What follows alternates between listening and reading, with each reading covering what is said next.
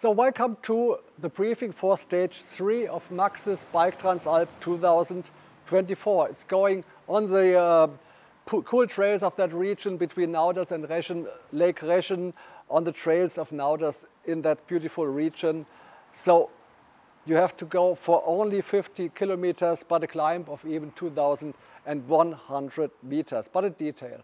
There will be no neutralization on that day. We start at the start at uh, Nauders going up to the uh, um, mountain Bergkastel to the uh, one of the main hubs of the bike, bike region. In between, there's a small descent, a downhill section around about kilometer six. It's a, um, it's a bit hoppy track going down there through the meadows, uh, bigger stones in the way. Be a bit careful going down from kilometer seven to eight approximately. After we reach the uh, first mountain Bergkastel, we're on a new trail, the Hofratseck Trail, that's new in the uh, region and new in the Transalp history. Enjoy that one, very flowy trail going towards Stieralm, followed by a beautiful section on the Plamort Trail going over the high plains of Plamort with a beautiful view into the uh, Ortler and above Lake Reschen. Enjoy that one. Before you enter the uh, first the next descent, the next downhill section on a forest track towards Reschen.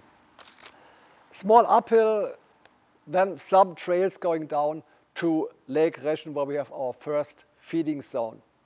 We changed the uh, side of the valley, climb up to the uh, Alm, a small downhill section where we reach the uh, Rojen Valley and then have the final climb to Schöneben, the next big hub of that bike region, followed by two cool trails, the upper and lower spin trail, and they are typical for that region, very nature-like, a uh, lot of roots and rocks in between. Not too technical, but you have to work your way through, so be careful, be attentive on these tracks going down to Lake Reschen again. Then we reach the dam of Lake Reschen going back on the cycle path to our finish line at Graun. For all e-mountain bikers, the uh, challenge today will be a bit longer. We have to, we start that one at kilometer four roundabout and we go to Lake Reschen. You have to climb 761 meters on a, on a length of 19.32 kilometers. Enjoy that one, that's a real challenge for the e-mountain bikers. The uh, battery change will be at the finish line of that challenge at the uh, Lake Reschen at kilometer 24.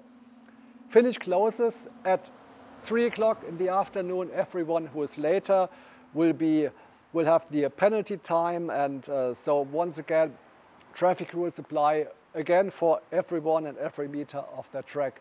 Enjoy that stage. Good luck on stage three.